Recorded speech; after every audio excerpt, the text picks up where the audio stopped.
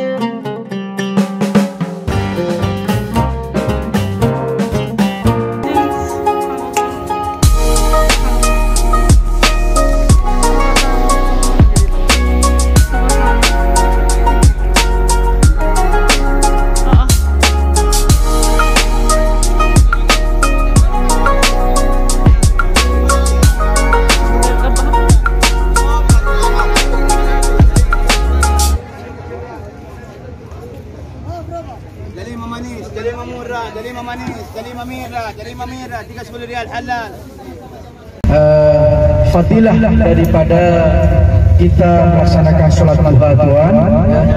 Saya pernah membaca dalam kitab tafsir Quran atau Ibn Kathir ada kurang lebih faedah atau manfaat daripada bahwasanya kita kunci kehidupan manusia dalam sehari semalam itulah dengan solat duha Ha? sesiapa yang nak kaya nak berjaya ekonomi dia uh, berniaga dia jangan lupa kita senantiasa sentiasa untuk melakukan solat duha bersabda man tasabbaha bi sab'i tamratin ajwatin lam yadurruhu fi dhalikal yawm samun wa sihrun. Sesiapa tuan haji dan hajani nak makan buah kurma tujuh biji kurma pagi hari dia akan terhindar daripada racun dan sihir. Ini hadis sahih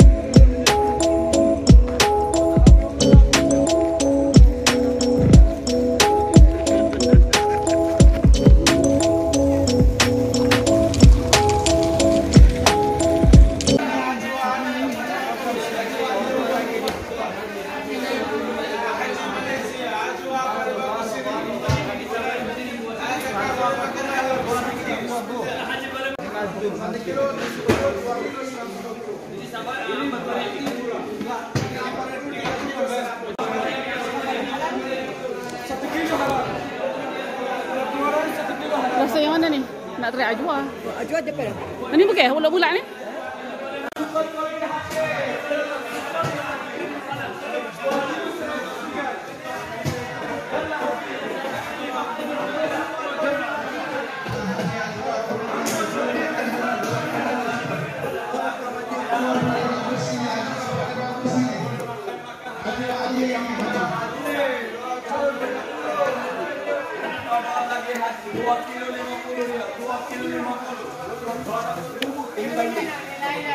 Ini satu 60, dua kilo 100. Ini satu 30, dua kilo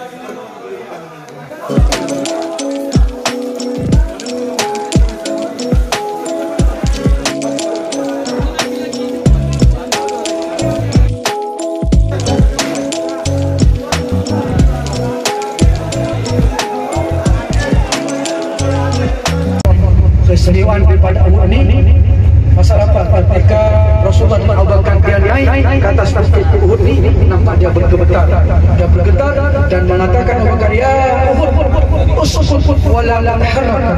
Wahai Uhud jangan bergerak jangan bergetar bahwasanya di atasmu ada Rasulullah wasallam satu yang kedua nampak daripada ketika para sahabat yang meninggal dekat, dekat Uhud ni dia nampak dimakamkan dan dikuburkan ke sana. Rancangan daripada sahabat dan tabi'in uh, sahabat Rasulullah dan keluarga Rasulullah bin Hamzah dia nak apa? Nak ambil balik untuk dipindahkan ke Uhud apa bagi tetapi apa Masya Allah nampak seolah-olah Uhud ni Bukit Uhud ni bergetar dan dia seolah-olah berkumur dan dia tak menerima kalau di tiga sahabat ni dia dipindahkan ke uh, ke bukit sana macam-macam. Uh, Bukit Kain Sayang. Tapi kalau dekat Madinah Bukit Rumah ni Rumah adalah apa? Artinya bukit pemanah bukit pemanah. Jadi tuan kalau kita tengok nanti Masya Allah.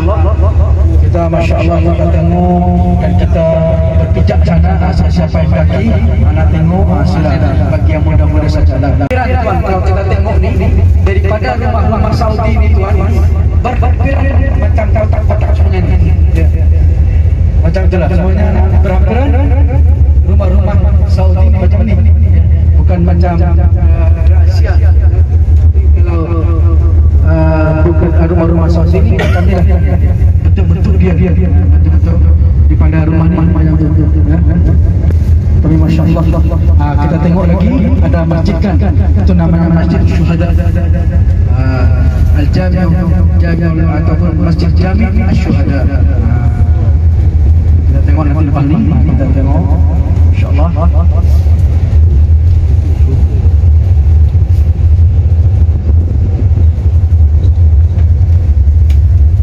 Allah. Allah nampak tulis tu kan nampak tulis uh, warna bukan. Kan tu orang orang-orang lah yang dia tulis lah bukan bukan apa memang ada bukan. Dia tulis lah.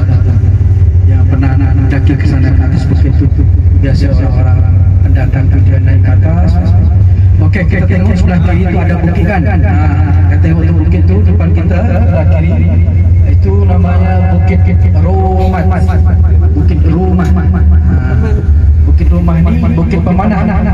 Salah satu yang di- di- diperintahkan oleh Rasulullah SAW. Bukit Rumah ini tempat di mana uh, Abdullah bin Zubair Ansari Al-Aisi beliau diperintahkan oleh Rasulullah untuk menghalau orang-orang kafir Mekah tujuh kilometer untuk Bukit Memanah. Pati aiskrim yang paling sedap lagi sedap kalau belanja mutawif kata mutawif. Mu'minin wal muslimin antum sabiqun wa nahnu insyaallah bikum lahiqun.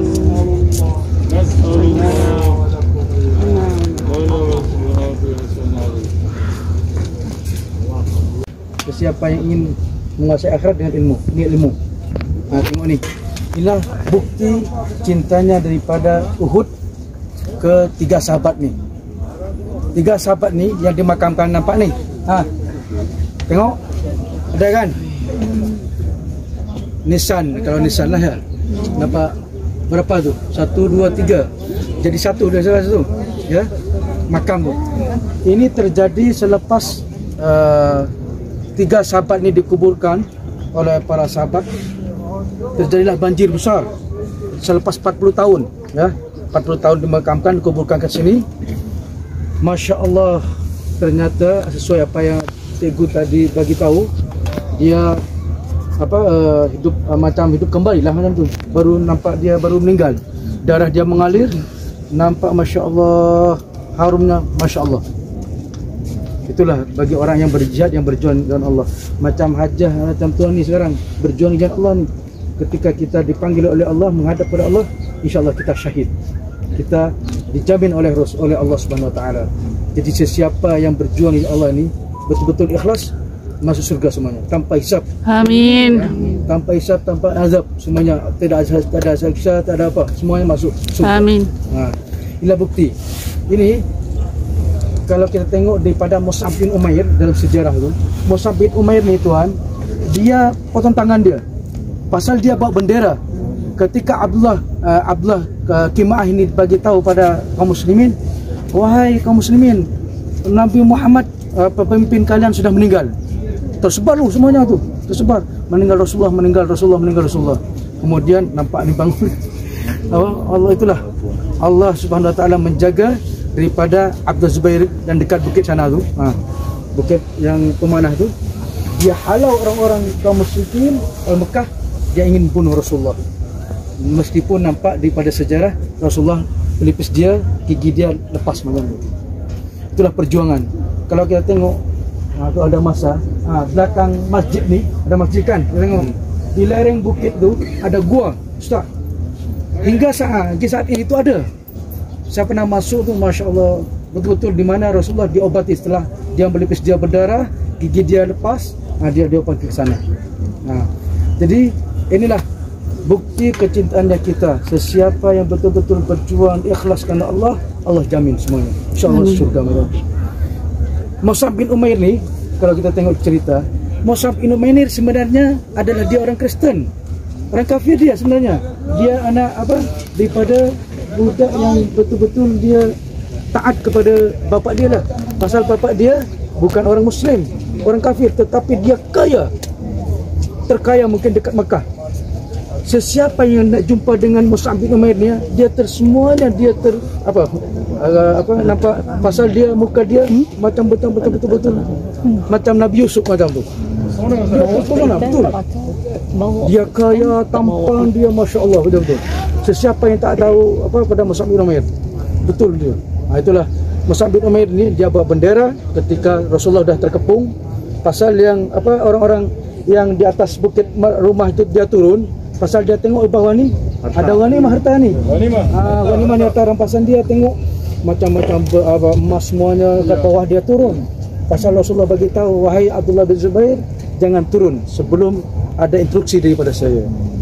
Ah, nampak dia tidak kuat keimanannya dia dia turun dia ambil semuanya. Khalid bin Walid sebelum dia masuk Islam ha, dia tengok di pada bukit sana tu dia kosong dia pusing balik dia. Ha, nampak terjelah banyak daripada sahabat meninggal kat dekat sini lah semuanya. Bukit yang rendah ni kan Ustaz ni? Ha, yang belakang ha, tu. belakang tu kata tu. rumah. ha, bukit rumah bukit pemanah. Ha, di sanalah Sa'ad bin Waqqas Abdurrahman bin Auf ataupun sesiapa yang bersama Rasulullah ha, dekat sana ha, itulah perjuangan betul-betul. Termotivasi kita betul-betul untuk mendidik anak kita ni sebenarnya ya. Inilah kita diminta ataupun tidak diminta pertanggungjawabannya kita di depan Allah Subhanahu Wa Taala. Kita pasti Allah Subhanahu Wa Taala mengatakan kullu nafsin Za'iqatul maut. semua yang bernyawa pasti mati. Apa firman Allah dalam Quran? Idza jaa ajaluhum la yasta'khirun sa'ata wa la yastaqdimun. Apabila ajal tiba ajal tidak bisa dimajukan dan dimundurkan. Kalau kita sudah tempat macam ni mudzakarah ni majlis ilmu ni Allah kita tengok. Allah sekarang ni malaikat dia suruh tengok apa jemaah ni buat ni sekarang ni. Allah SWT kirim malaikat Allah iaitu malaikat rahmat malaikat rahmah ni tuan hari-hari datang. Ya hari-hari. Bahkan masa-masa datang. Kalau begitu juga apa malaikat maut juga pun datang lah macam tu. Bukan hanya malaikat rahmat saja malaikat maut datang. Malaikat rahmat inilah apa sesiapa pun yang Allah ciptakan dia bagi rahmat kasih sayang itulah kasihnya Allah keberkatan kita.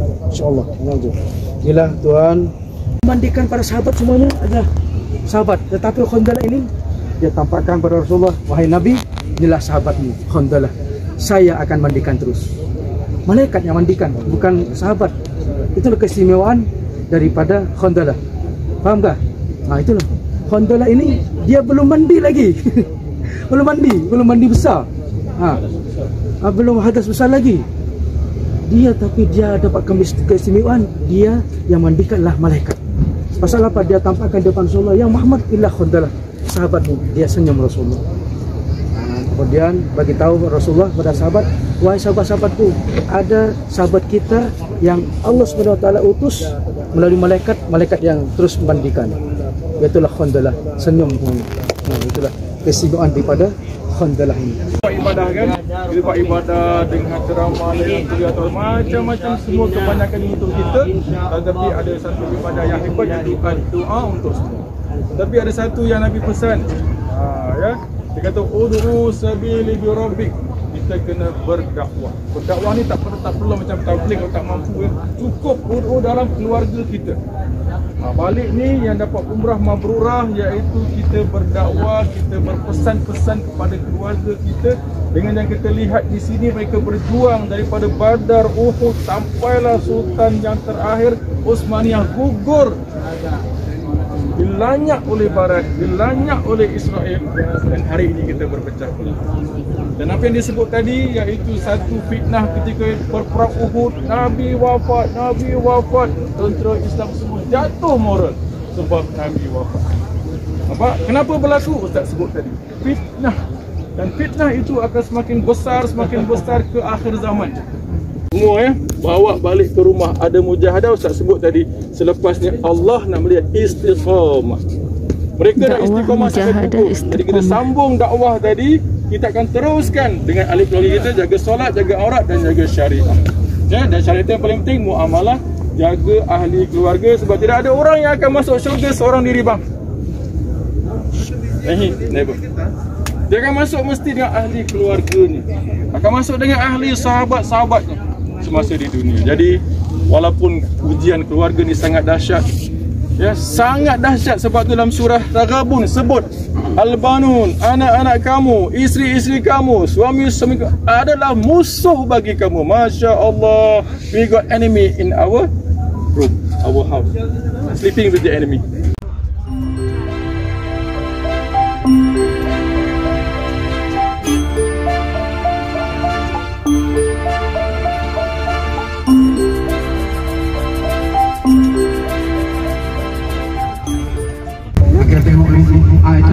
Tuan. Di atas bukit itu nampak kan ada rumah kecil kan?